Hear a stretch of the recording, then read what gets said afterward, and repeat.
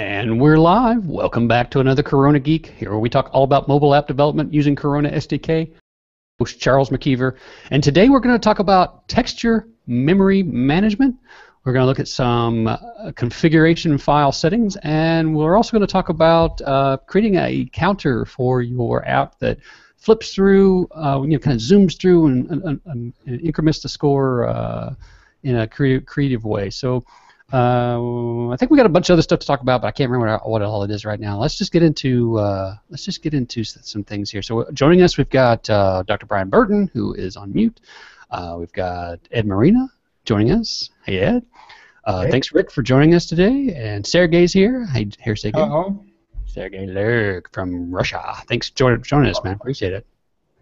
So, uh, if you guys didn't get a chance to watch Corona Geek 110 you guys got to go check that out. We had uh, Chris Byerly on the show, and he talked about Coronium Game Server 1.0 and demoed some code there and provided a whole developer kit for us to mess with. So uh, that's all discussed in 110. We also talked about Windows Phone apps, and uh, they're starting to show up in the Windows uh, App Store.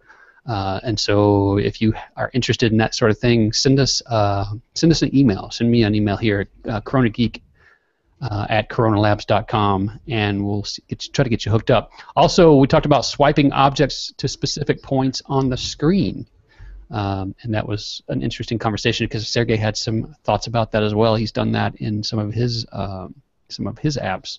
Um, but that was all in 110, so go check that out. We'll put a link in the show notes.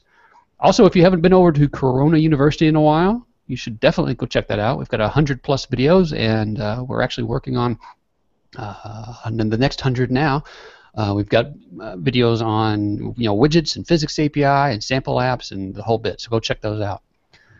Also, if you're a a customer of Burton's Media Group.com, if you've ever purchased one of Dr. Burton's uh, Corona books, you need to know that there is a update. Uh, so so that uh, there was a small fix to a problem that was left over from Graphics 1.0 to, to Graphics 2.0 transition and it primarily impacted chapters 2 and 8. So if you are a customer of his, you probably will be receiving an email soon letting you know where you can download the, the update. And if you haven't checked out burtonsmediagroup.com, go check that out. Dr. Burton's got a, a bunch of books over there on Corona, and he's really good about updating them and making sure that you get those when those updates occur. So go check that out. Also, another piece of news here: uh, Game Center is now uh, in iOS. It's now a plugin. So basically, uh, as of build 2455, it's been moved to a plugin. And what that means to you is that if you need to include, um, you know, if you want to use it, you need to include it into your build.settings. Uh, and there is a uh, some more information over on the Corona Labs website, and we'll put a link in the show notes. I, I like uh, how everything's moving into plugins you know, more of the core things that you know, or the things that used to be more in the core are, be, are being moved out to plugins. Yeah, it's, it's a good idea. I think so. It, yeah. Uh, helps lighten the uh, end binary size. Yeah, exactly. I mean, it's just like the, we were just talking about right there. I mean, if you don't use Game Center, then why have it included, right? I mean, it's, it's totally up to you. Uh, and and as a reminder to everybody who is, following along here, if you haven't uh, posted your 2048 hex high score to the Corona Geek Facebook wall, now is your chance to do it. Go out there and uh, share your score with us.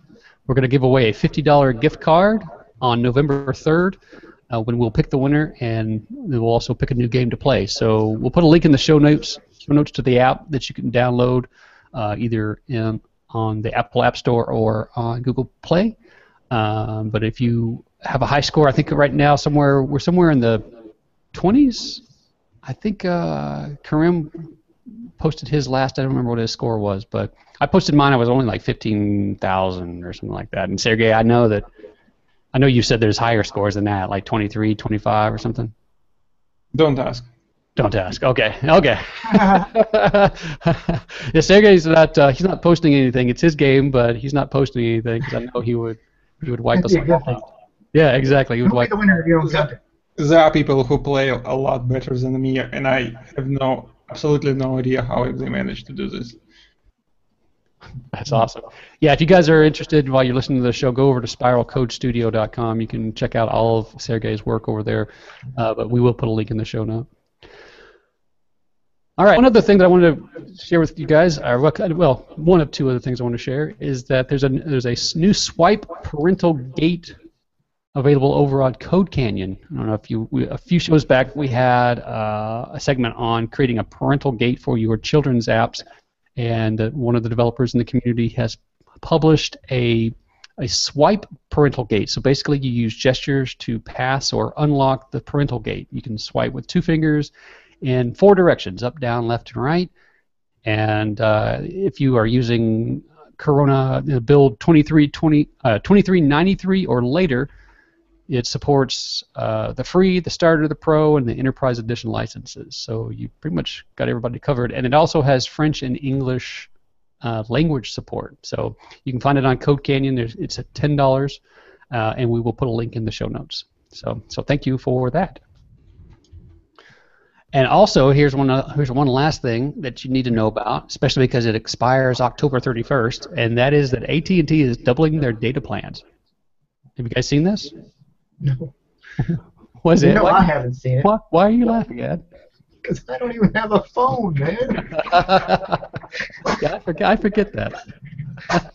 Call me a luddite. It's all right. Yeah, that's all right. Well, so AT&T is basically it says that they're according to the article it says they're doubling their plans. What they're doing is is their you know their 10 gig plan is becoming their 20 and their 20s becoming their I think it was like their th- their 15s becoming their 30 and their 20s becoming their 40 and and so uh, what that really means is that for the same price they're doubling the, the data. So if you're an, an existing AT&T customer though you have to actually ca- contact them in order to to make the upgrade. So what I did was I was I needed to be in one of the stores for something else, and while I was there, I had the guy upgrade me. So I, I had the 10 gig plan for hundred dollars, uh, and then what I did was I just upgraded to the 15 gig, which which was um, like another twenty dollars or whatever, and um, so then I got the I wound up with a 30 gig plan.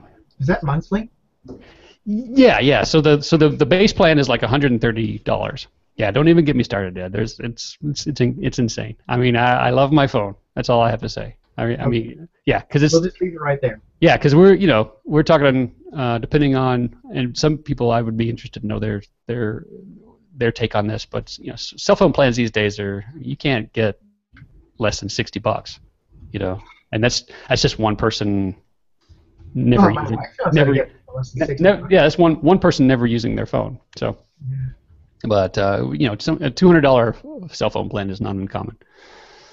Oh, So, uh, but anyway, I will put a link in the show notes, and if, if you're interested in that sort of thing, go check it out. It, it does expire October 31st. It's a promotional thing, so if you don't take advantage of it, then I guess you'll just continue to stay where you are. And one one other note is that once you once you get this promotional uh, plan, uh, if you change it later, then you, you lose it. So, well, I'm sure there'll be a reason why you'll want to change later, but you know, it's kind of like get it and just get it and keep it for a while. Get it and stick with it. Yeah, yeah, and hopefully when, at some point I want to circle back around with Brian uh, because I know that uh, we, we wanted to have the uh, discussion on plans, on upgrade plans and stuff like that. You know, because uh, the carriers are, are making a bunch of changes in the way that they handle things, and it's just it's making it crazy for everybody. Yeah, it's kind of chaos lately. Yeah, I think so. I mean, just just like uh, you you have to be you know you have to be real careful about reading the fine print and understanding what that means, and it and, and it seems like everybody I talk to has a different situation. So I Well, watch. uh, um, yeah. oh, go- go ahead. no, go ahead. I was going to say I um, this made me think about it. Is I watch uh, App Annie. I you know I look at the App Annie site every day, sort of to see what's floating up to the top and is popular. And I don't know if you guys do, but I've noticed over the last couple weeks since iOS 8 came out, and, you know the iPhone 6 and all that, that there has been nothing new. Everything that was popular was around. It's like there's this huge backlog of new content that just hasn't shown up yet. Mm, I would, I, I- yeah, I would imagine there's all these uh, iOS 8 updates that people are having to approve, right? Yeah, I think that there's. I think we're going to see an avalanche of new apps suddenly just show up for uh, iPhone. That makes sense. Well, and you know, I, I can imagine on the iPhone side of things, you know, now that people can, now there's more real estate and and new features in the SDK, I'm sure there's going to be a bunch of, of things that we've never seen before. Yeah, I think a lot of people had trouble getting through the, uh, the acceptance process. You know. Yeah, I, I, tell you, this isn't what we were going to talk about today, but but I would say that I, I would like to see the app store, uh, the Apple App Store review process, um, re- redesigned.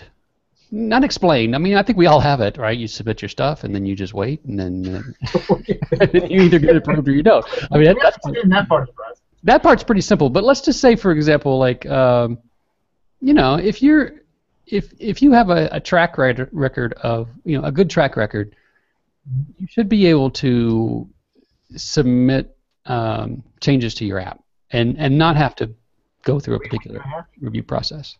You know, let, let's let's just say you know you've uh, you've submitted your app, you've gotten a certain number of reviews or a certain number of downloads, or, or you know, or, or you've you know there just just be a point where like that okay you're good to go you know and then until you do something um, to to change that you're you're you can you get a free pass right? I mean they do that on YouTube. Like when you know as long as your account is in good standing then you get to you can do advertising or you can do you know special features. But uh, but if you jeopardize that in some way with your activ- activities then you, know you can have that taken away from you. So. You know what I'd like to see someday is actual numbers on how many people submit apps every day for review at Apple, and just like a month or two of numbers that show, well, out of that month we got this many submissions and this many didn't make it, and this is how long it took on average. yeah Because it's such a black box, it's a mystery. Right. Yeah. Well, and and there's got to be a there's got to be a balance between what Google Play is doing right now and what Apple is doing. Yeah, Google Play, which is you know one hour later it's up on the store.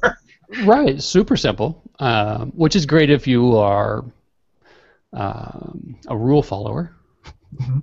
or great if you're not a rule follower. you know, Wild, Wild West over there. right. It's a little little too loose, uh, Yeah. but there's got to be a happy medium. I mean, you got to be able to, like I say, if you if you go through an initial review process and you pass that screening, and you get some sort of status as a trusted um, entity, then you should be able to, you know, you should go to into, into a different queue or something. All I'm all I'm saying. Different lanes. Something, anything. Yeah, especially if it's a uh, Computer lane, man. yeah, especially if it's a, an existing app. So I don't know. I, I'm sure there'd be people who would figure out how to manipulate that. Oh, I'm sure. There will always be people who figure out how to manipulate any system. Right. Yeah, exactly. Well, uh, I tell you what. Let's. Uh, we've got a couple of things that we want to cover today for sure. So let's get into those, and if we have time later, we'll come back and we'll, we'll touch on some of these other. I've got some news articles and some interesting tidbits here, but we can we can push those t- to the end. Let's talk right now about texture memory management. Oh, I know you, Ed, you, you had a. moment, I closed every window on my screen. Give me two Oh, seconds excellent. while I re- reopen, I will. Uh, I will tap dance while you reopen. helping me out. Uh, so, so basically, Ed's come up with this way of being able to um, cut down on the amount of texture memory that's required for having a, a large number of objects in your uh, being displayed at any given time, and which is probably not a great way to to to uh, summarize it, but. But he, he's created a whole demo for it, and it, it, the you know, the visuals will explain everything that you need to know. Yep. All right, so I can get this done pretty quickly. Okay. Um, basically, what it is, it's uh, let's say you're creating an application and you know that you're going to have many tens to hundreds to maybe thousands of unique images that you need to display, and you don't have a lot of control over when they are displayed. So you're faced with a dilemma. Basically, do I keep the object in memory, rendered and ready to go, or do I remove it when it's not on the screen? How do I deal with the ambiguity of needing this image promptly at some random moment, um, and yet also deal with the amount of memory that gets used? So, uh, for a typical application, let's say you're, uh, how do I measure this? Let me just give you the example. So, what I've done is I've created an example that takes three textures, and for this example, it duplicates these textures in the temporary folder. So um, if you don't understand this, one of the things that you need to understand about how textures work is for every texture that you load into memory, if you load a texture, let's say abc.png, and then you use it over again to make another object, and you use it to make another object, what you're really doing is reusing the same texture memory over and over. And there's a little bit of overhead of texture memory and a little bit of overhead of main memory to track that object.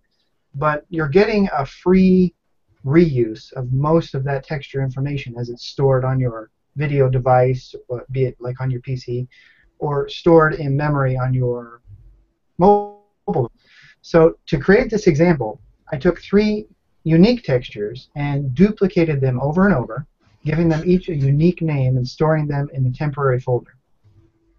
And then I could use each of these generated, in a sense, textures to create one screen object to demonstrate the drawback of having hundreds to thousands of objects. So I'll go ahead and share my screen here. So it builds up over over as we have unique objects. It builds up uh, memory. Is that what we're saying? Yeah. So when you add more and more, more objects to your application or game, you're going to have to pay the penalty of the cost of storing the um, texture in memory and some data about the position of the object and other visual attributes. But the biggest penalty you're paying is the texture memory. So, uh, for example, if I run this example and I tell it to run example 1, I'll go back and explain this in a moment. I tell it to display simply 10 textures. What that's going to cost me. Can you read that okay? Yep, looks, look, comes through good. So the main memory cost for simply 10 textures, and I'll show you the textures in a moment, is going to be um, 7 tenths of a megabyte, so not very much main memory, but 34 megabytes of texture memory to store these 10 unique textures. Now I know that they don't look unique, but each of these is coming from a separate file. It's, it's critical that you understand that. So as far as the um, application is concerned, each one of these is a different texture. So it has to make space for that texture, has to store it, and then use it. So just for 10, we're hitting 34. And then if we crank this up to 100, as you would expect, after it takes a moment to redraw, we're well over 300 megabytes of texture memory. Wow. And the problem just keeps getting bigger and bigger and bigger. So let me pause this for a moment and show you the actual source images. That's not the right folder. So the actual source images are an image that I took off of some random posting from one of your um, Corona Geek posts, which is a JPEG on disk. It's uh, okay. Google Hangout is not helping me. Stop it. Uh, 139k. Yeah, it is 139k. Yeah, on my screen I've got this big block that says you can stop sharing at any moment. It's covering up the information I'm trying to talk about. Uh, it's 100 and uh, but it's 1024 by 1024, which is going to come out to um, what is that? In texture memory, I think that's going to come out to 8 meg, something like that. Anyways, it, it's irrelevant. The point is, it's a significant amount of texture memory. And then this is also a large image, 1024 by 768. It's 3 megs. Sir? 3 megs of memory. 3 megs? Only 3 meg in memory? Yeah, it's uh, 1 million of pixels. Well, yeah, okay, and, that makes and 3 bytes per pixel. 3 bytes per pixel. Okay, there we go. Because there's, well, what about if you have an alpha channel? Then it's 4 bytes. All right. Right. So I think we have to include the alpha channel because you don't know for sure in Corona if you're going to have an alpha channel or not. I don't know if it encodes, if it's smart enough to encode three or four channels based on what it sees in the texture. So, but worst case, it's three to four megabytes for this texture right here. If we do that 10 times, that's 40 megabytes. The reason ours were smaller is because I'm using two smaller textures of a lower dimension, 1024 by 768 so slightly less storage required. So, and then uh, in this example, as I said, when you run it, I should probably explain this first. When people run this example, and we'll provide a link to this code later, they should open up main.lua and make sure that lines 54 through 56 are commented out. And this is this is how it will come. So if you run it first this way, Run it first with the number of textures set to 1,000 and not running any of the examples. And what this will do is it will generate those 1,000 textures in the temporary folder. And I would suggest running this on your computer. You can run it on your device, but you're probably going to want to remove the entire application later so you can get rid of all this stored temporary data easily. It'll, it'll eventually erase it, but uh, by removing it directly, you'll clean this up immediately. And Ed, Ed, if you would just show them how to get to the temp- temporary directory. I can do that. So to get to the temporary folder on Windows, and it's similar on uh, OS 10, is you go to the File um, menu, and then in our case it says Show Project Sandbox. You may have to dig through some further submenus on OS 10, but eventually you're going to find a reference to Sandbox, and you'll do that. And under here you're going to find two folders. One of them is the Documents folder, and the other one is called temp, and that's the temporary resources directory. That's where I'm creating the textures. And if we look at these, literally the same texture over and over and over with some randomly generated texture name. So um, the solution to this is is not to display, I'll give it away, is not to display every texture if it's not on the screen. The question is, is how do you detect that? How do you decide when to show and when not to show a texture? So, When so I in, don't show, go ahead. so sorry. So in example one, you you you're showing what 10 or 100 uh, textures there. Yes. You're saying that even when those are those items aren't on the screen, they're still held in memory. Is that what you're saying? That You're is still- correct. Okay. Because the because Corona does not know whether that needs to, can it doesn't know how to remove that from memory and yet make sure that it's there just in time for you to display it. In theory, uh, the engineers at Corona could do something that would say if it's not visible. They tried, it failed. Sir? They tried, it caused a lot of bugs. Yeah, it, it's it's a costly and dangerous operation if you do just a general solution. So what I'm giving you here is a solution that is general, but can be easily modified to your own purposes, to your own situation. So when I say that you're not going to display this, what I'm really doing is for textures, for images that are not on the screen in a visible space, I temporarily fill them with a, another texture, just a tiny one pixel texture, and then I can have hundreds and hundreds of objects, or thousands, and all of the ones that are off screen are all sharing a little itty bitty tiny texture, which uses up almost no texture memory and no resources, basically. So since you're not displaying it, there's no point in wasting the space. And then what the algorithm does is it checks back from time to time, and I'll explain that in a moment, and it says, is the image on screen? Is it about to be on screen? Is it near to being on screen? And if so, it refills it with the original texture. So over time, all the textures, all the images that are on screen will always have the correct texture filling the rectangle or whatever it is that you've got displayed. And just to demonstrate the difference, so our, in our previous example, uh, we had 100 objects, which cost us 330 megabytes. But if we run example 2, which uses one of two solutions which I provided, and we rerun this with 100 um, textures, it brings us down to about 20, 25 megabytes, which is a lot more reasonable. Nice. Unfortunately, I can see that um, as this is playing, it's sort of uh, jumpy. Yeah, but that's just the Hangout. That's yeah. The Hangout doing that. frame rate of the Hangout. So it's yeah, I've seen this uh, demo up front, uh, you know, live, and it it's just as smooth on example one, uh, example two as, as as it is on example one. So So, uh, so what are we what are we doing here? Basically, what I've got, I'll just take you to the code. Is I've got a piece of code that's about 60 lines long,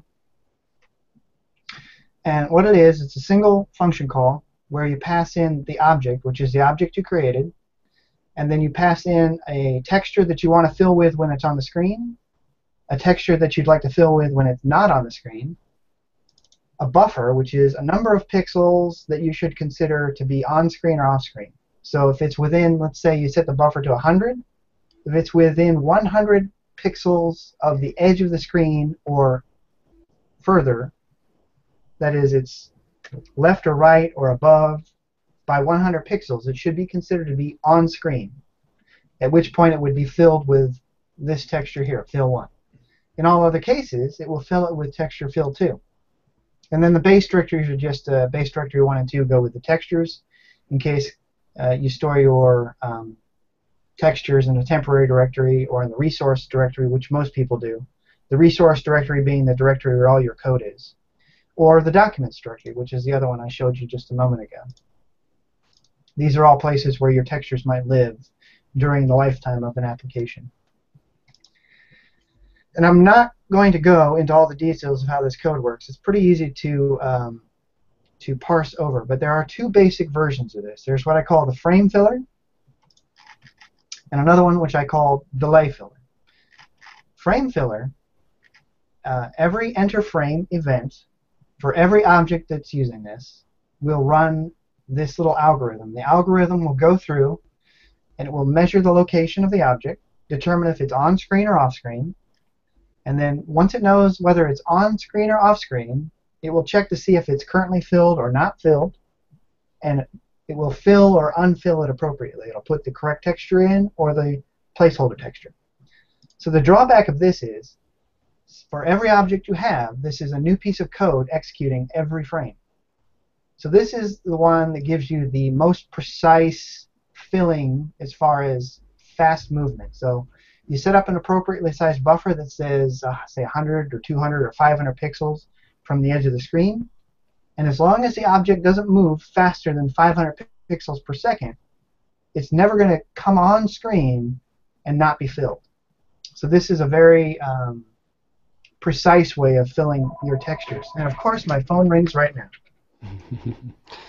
and the the other one though is, is a time based. So how does that? So the time based one is it's exactly the same loop except it's based on perform with delay. So you can set some random amount of time. If you know that your game doesn't have fast motion, uh, or you can you can deal with something popping onto screen, say not being displayed promptly, depending on how you uh, adjust this algorithm, you can use perform with delay, which says for every object that I have, it waits some number of milliseconds and then it checks again. So uh, just to compare these two, using the enter frame, if you're doing it 33 frames, uh, 30 frames per second, that's every 33 milliseconds, every object will run this algorithm. So that can quickly become a lot of computation. So if you're in a situation where you can't afford that, you might want to use the delayed filler. And I'll just show you these in use. Uh, one thing that people, when they look at this code, look at example one first and just see how it's set up. And really, all you want to look at is part two here, which is where it creates this group of images. Part three is the memory HUD. And part four is the code that's just moving this image up and down to keep it moving on and off screen. Or moving these images on and off screen. So the part that does the drawing is this loop here under 2, which is about 30 lines of code. Then if you look example 2, example two, uh, 2 is exactly the same, except at the point in the code, let me make it bigger so you can see it, the point in example 1 where it just simply filled it in with the current image that we're selecting, it calls either frame filler or delayed filler which then starts executing and making the appropriate decision as far as whether to fill with a temporary image or the actual image. So you don't have to modify your existing code almost at all to make this work. Nice. Ed, I have a question. Yes, if please. you're um, using uh, object not a rectangle but an usual image, and um, you can change the field with um, image.fill, but if you um, uh, assign nil to the field, does it return to original image or not? Hmm. I don't know. It may. May, may not. I, I would assume that it will not return to the original image because it could have cleared it at that point. So unless a Corona is smart enough to know that it should reload that into memory, then I'm going to say no. But that's an interesting experiment. Uh, experiment is to simply pass in well, you have to change the code to set it to nil on the second fill. So the first fill it would use the appropriate texture, and after that it would always just set it to nil. on the assumption that Corona will understand and set it back to the original texture. But I'm going to say no, because once you've replaced it with another texture, it doesn't know. Corona shouldn't be able to figure out what the appropriate texture is backwards from that. You know what I'm saying? Yeah. You have a rectangle, you set it with texture A, fill, then you set it to texture B, fill, then you set it to nil, what would be the appropriate response at that point? We should try it some sometime. Yeah, well, we could test it simply now. Oh, uh, I wanted to show this.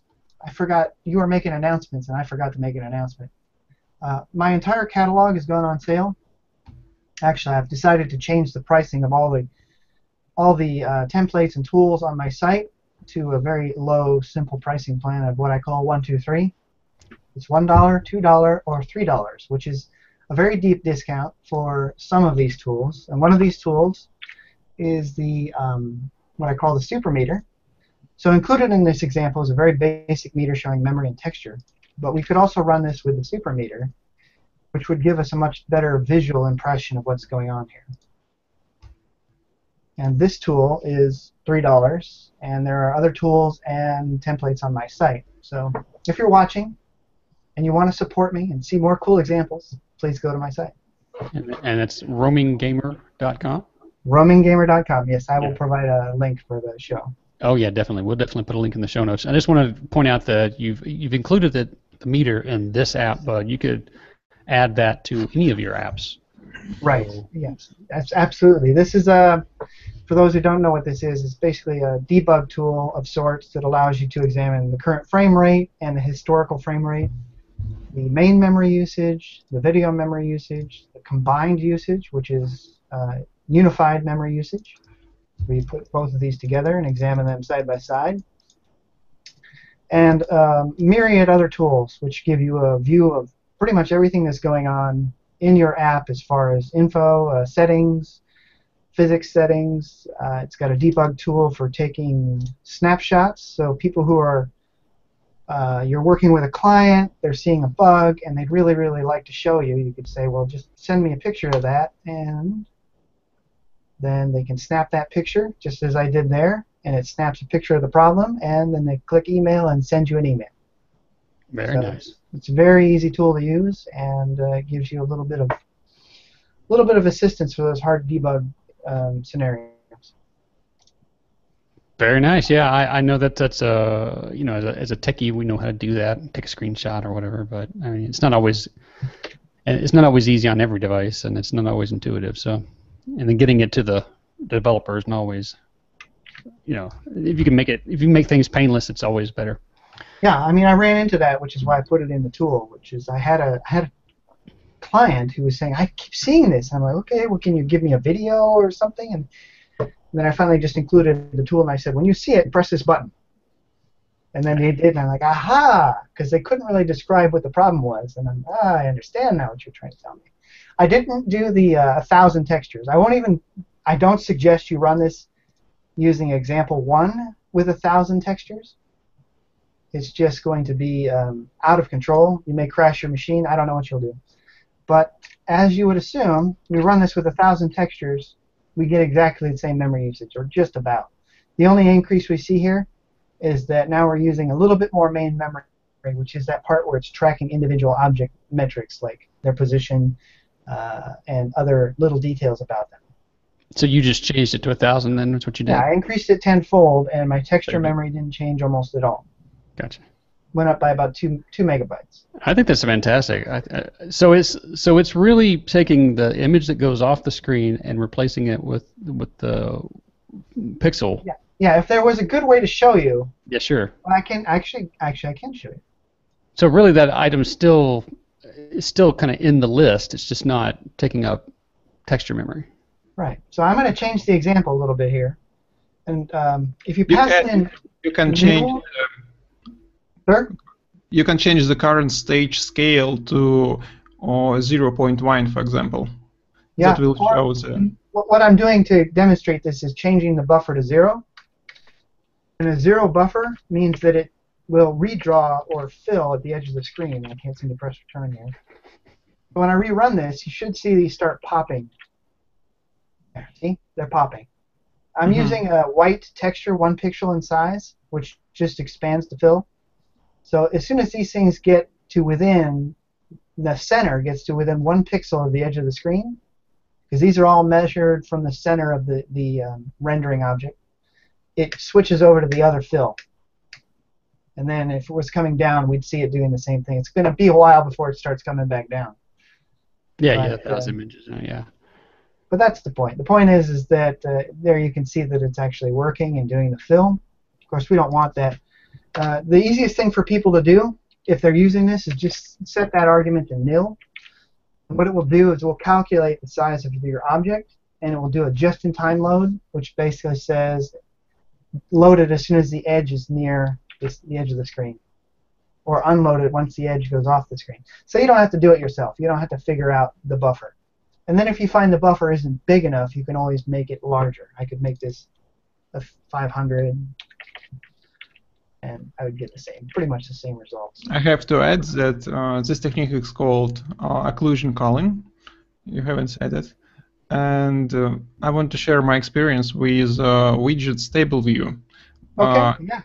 table view has also a uh, occlusion culling algorithm, but they, they display rows that only on the screen. If the row it goes off screen, it gets unloaded, and uh, it's loaded back again when you scroll it on the screen. And if you have some images in the drawer uh, and you scroll this uh, table view, it gets uh, sluggish, like uh, really not comfortable. You can see it's uh, lags a little and uh, it's not beautiful. So Absolutely. my work was to remake the entire table view, and I implemented a different um, technique. So I've made all the rows uh, in memory, but all the images that were in rows, I was um, unloading them. Uh, the problem with the original table you had no buffer. I added uh, um, some nice uh, buffer like uh, 201 um, sizes of the screen. And uh, to avoid the lag when you uh, Corona loads images uh, into the applications, like it takes several milliseconds for all the files to be read, uh, I simply don't uh, read the images or uh, until user stops scrolling.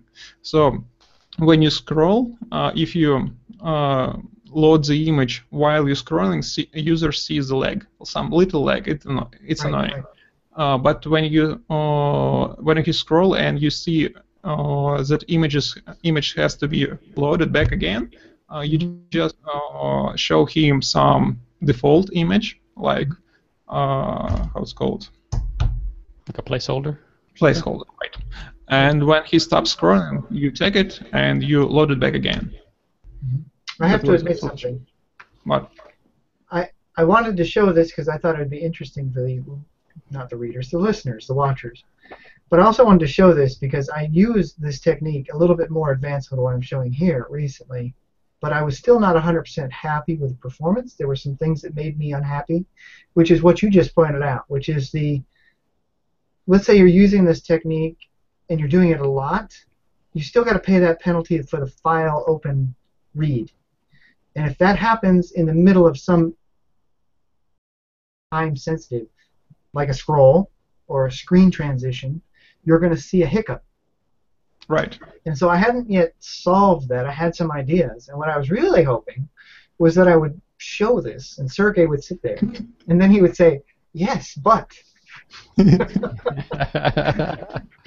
So there, everybody's satisfied now. I got the, uh, I got to show my demo, and I got my yes, but from Sergey.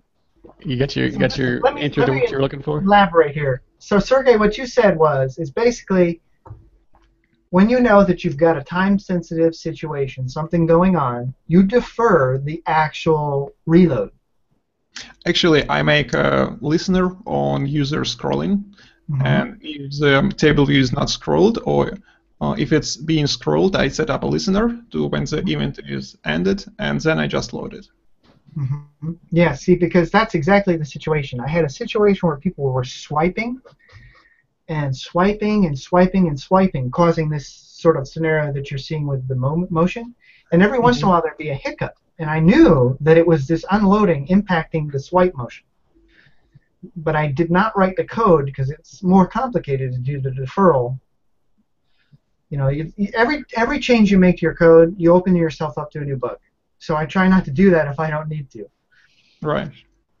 Every action you defer could cause a problem later. So, yeah. all right, well, good. I'm gonna have to experiment with that later because I'm still trying to make that a little smoother. So you know, you said you're going to make this code available for people to download and play with themselves, right? That's correct. Uh, once I remember to extract uh, the RG meter uh, code, I will go ahead and commit it, and I will give a link uh, bef- before we even finish up here. I'll be doing that. Okay, well, excellent. Thanks for uh, for demoing that and for working out the details on it. And if you come up with uh, a hybrid of what you and Sergey are talking about, are you you going to share that out with us, or or what? Uh, you know, I kind of hesitate to not because it's just the example I've given is it's grokkable. It's small Mhm. enough that people can look at it, and I don't. Once I start modifying it more than this, it becomes almost situation specific. Gotcha. At this point, it's very general. But there's a lot of things you could do. For example, one thing you could do, you could look at the parent of the image, all the images, and if the parent is not visible or the parent's parent is not visible, either the alpha is set to zero or the visibility flag is set to zero, treat that also as an off-screen. I mean, so there's a lot of ways you could make this more efficient or more inclusive. well, I, I, I started to do that when I wrote this example. I'm like, oh, this is going to make it too complicated for people to understand what's going on. Well, here's what I think should happen. I think I think you know you you come up with this and you're going to share it out with everybody, and and it's a good starting point. And I and then- and then I think that the um, these situation specific things people should come back to you and say, hey Ed, I'd like to uh, modify this, and uh, I'd like to pay you to help me to do that. Yeah. Yeah, so I think that's a fair Yeah. way to way to handle those types of things. So do I.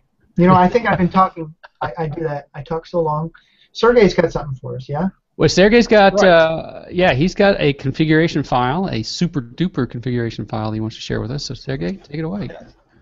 Yeah, recently I was working on a project and I came out, uh, come out with, no, how's come up, come up, not came out, uh, come up with an awesome config Lua file that handles really every device really well.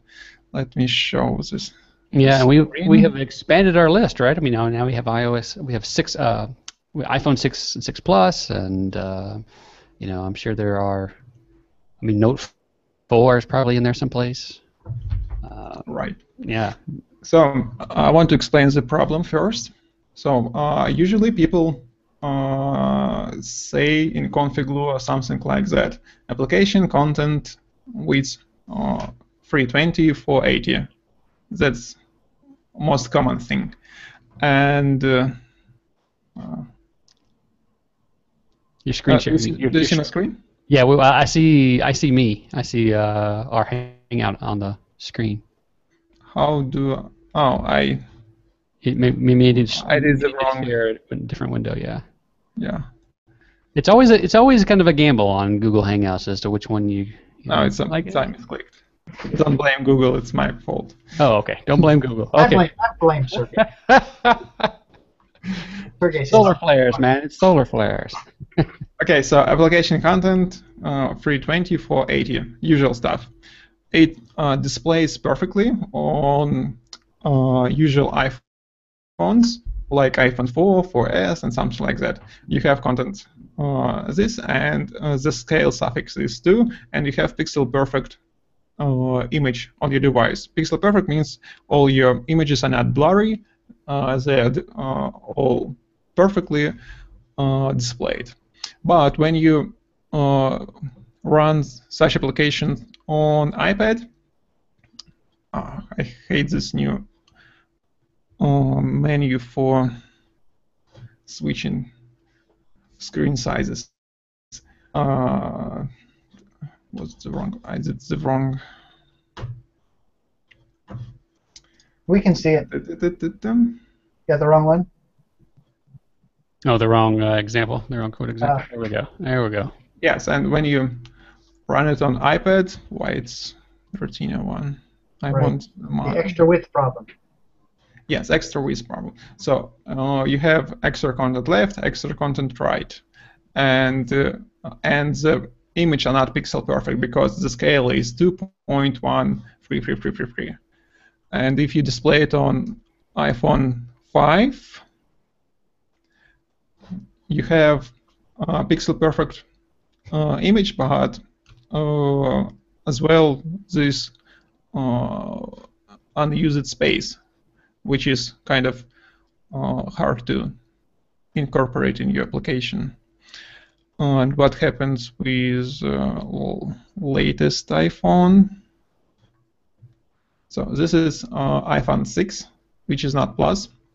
You get as well not pixel perfect image; it's blurry, and um, you have bars at the top at the bottom. And now we enable my config Lua that I made, refresh uh, the simulator, and it makes the image pixel perfect. Scale is equal to uh, 2, and you have no bars at the top and the bottom. Nice. And this comes for every device that you can think of. You can uh, choose it, you can view it on any device in the simulator, and it always uh, show you uh, your content full screen, and it will make uh, image pixel perfect uh, as long as it uh, suits enough for application. Or iPhone uh, iPhone 6, iPhone 6 Plus.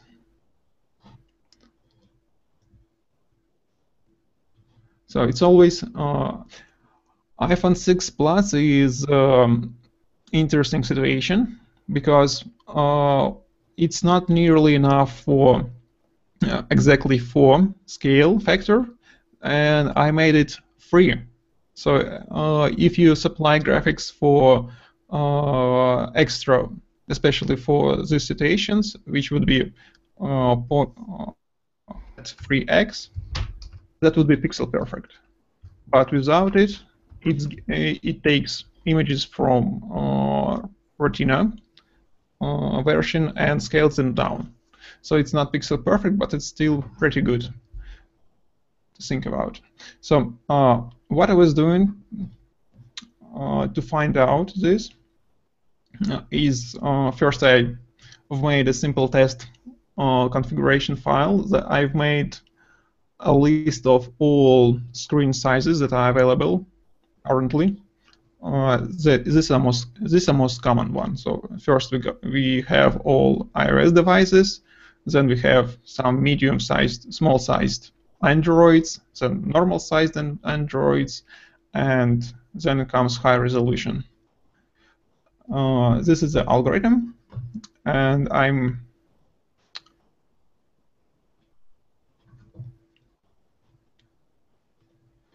when I run the script in simple Lua interpreter,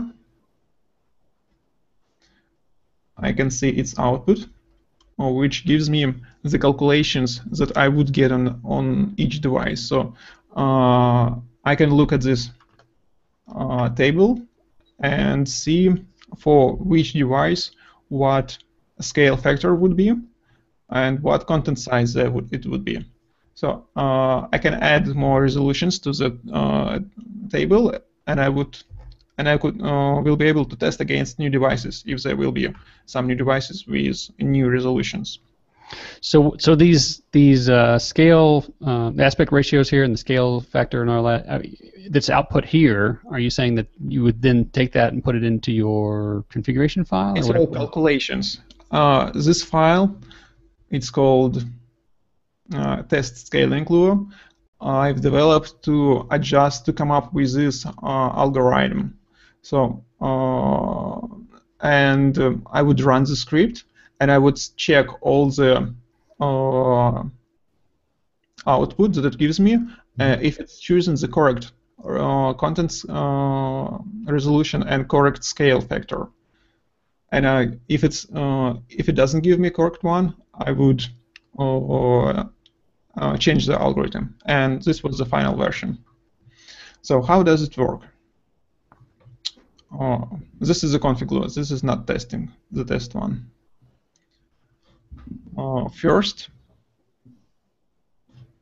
I set, uh, set up a table of modes. Modes is scaling factors to try. So one is original, like the first iPhone. One and a half, this is all weird Android devices with resolutions like uh, 400 by 800 and around this. It's uh, they're not enough for scaling 2, and they're bigger than the original scaling. Uh, these devices are not pixel perfect, so it's a tr uh, trade-off. Uh, but I use uh, for them normal letterboxing, so it's fine. So other factors are all pixel perfect. So it's 2, 3, especially for iPhone 6 Plus, and 4, 6, 8. Uh, this all look great. So you don't have 2.1, you don't have uh, 3.8 or something like that. So it's every, it's all rounded up. It's all nice on the screen. Next is COM configurations for the algorithm. Uh, minimal width and minimal height. These are numbers of the content that you can uh, display. So if your application fits in uh, 3 pixels uh, wide and uh, 4 pixel uh, 460 wide in height, you uh, input these values.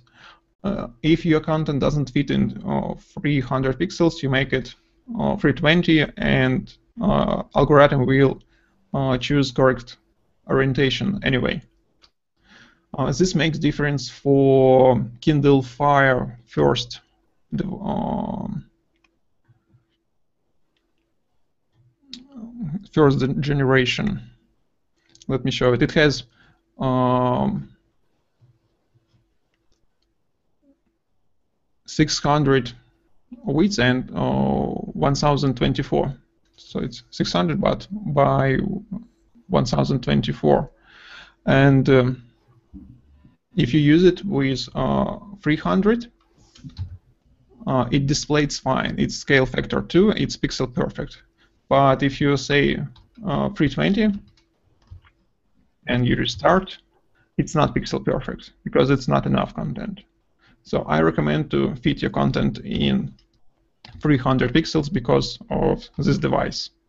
And if you manage to actually, uh, let's open up uh, iPhone 6 Plus.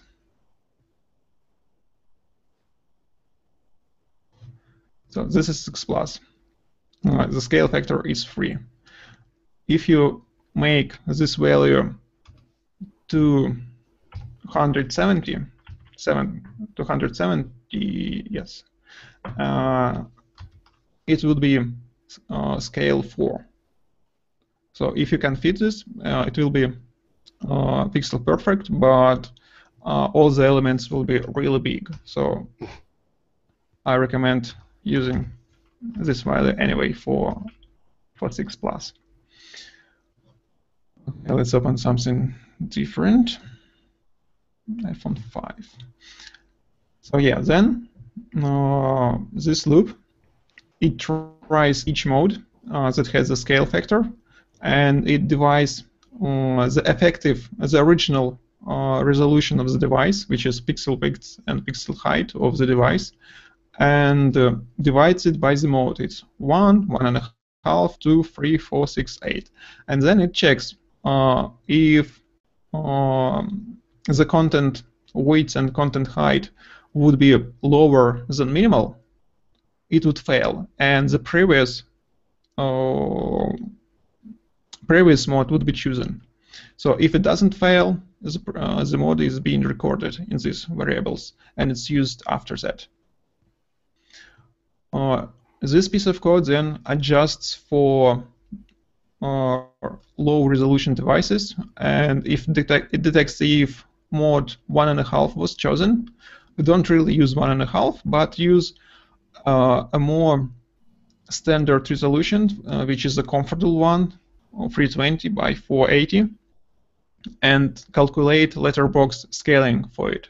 So it uh, so it uses normal width and normal height, uh, divided by uh, actual width and actual height of the device, and it chooses the uh, scale factor which is needed to apply so everything fits on screen.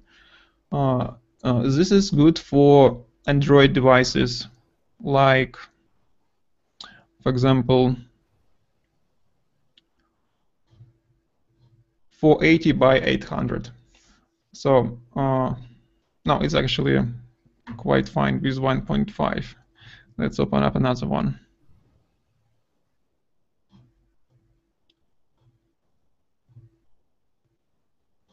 For example, this one, ridiculous one, it's uh, 400 by 80, 55, 54. So it's more than aspect ratio is more than two Well, It's it's very tall device. I don't remember what model it is, but it's very rare, but and uh, very weird. So uh, right now. It's scaling factor uh, 1.2 and it fits nicely with the content width being uh, 320. Uh, if we disable this block, it will choose 1.5 and the image will be uh, scale factor 1 it will be uh, pixel perfect. Oh actually I have a bug. It should be it should be saying yes. That's fine. And but the picture is very small because you can see uh, the rectangles are very small and on such small screens all your content will be really small. It's not good.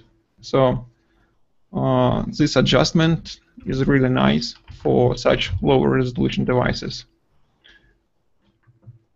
Um, yeah, I like that it, it's smart enough to figure that out on the fly. That's definitely interesting. And what you have to account for is that every time you do this, uh, you will have different content size. So you should be accounting for, uh, you can depend on fixed numbers. You should rely on corners. So on my demo uh, file, I define uh, width and height, which is uh, content width and content height of the uh, current setup.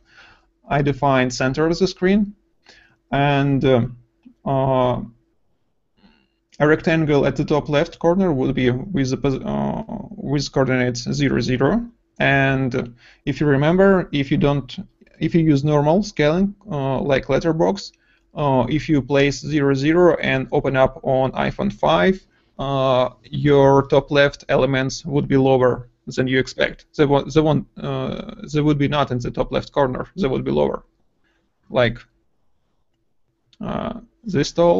And if we disable the uh, iConfig Lua and use the normal one, they would be lower. So that's the problem.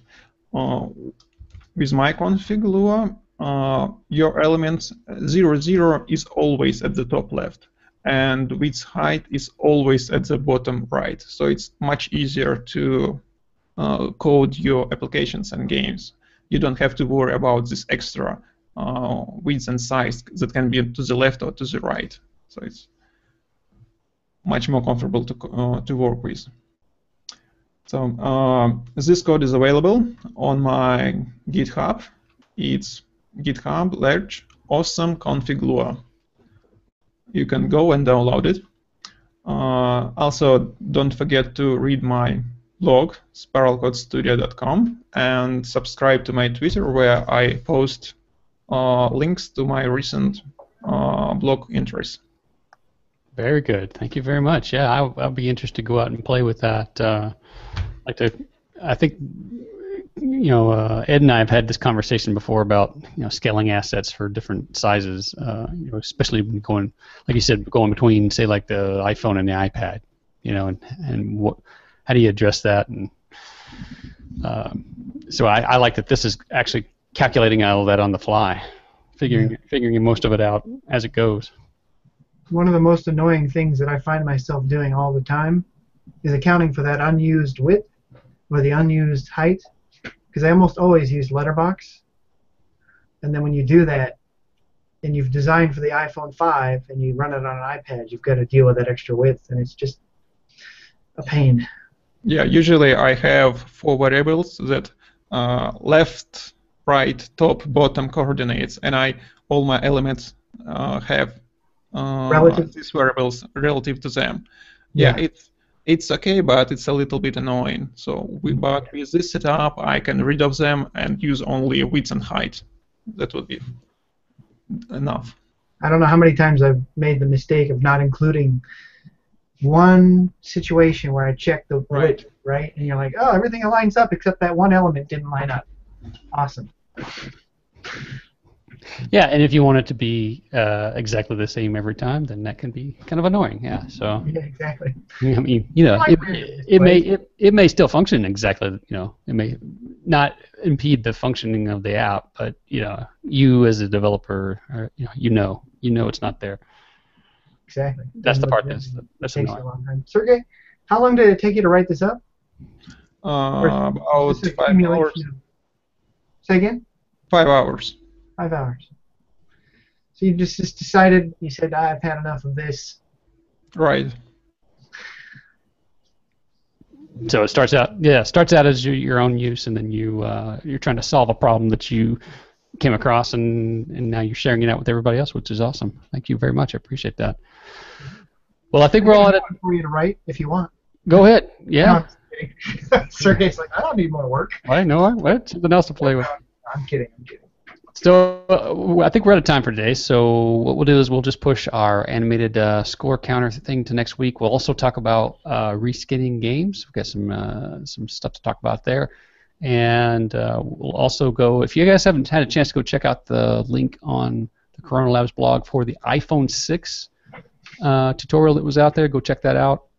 We, if we have time, we'll, we'll touch on it next week, but it's something you might want to check out before then and uh, we got a few other things we'll we'll we'll, we'll talk about next week. So, uh, so the, uh, so thanks for joining us, and until next week, happy coding.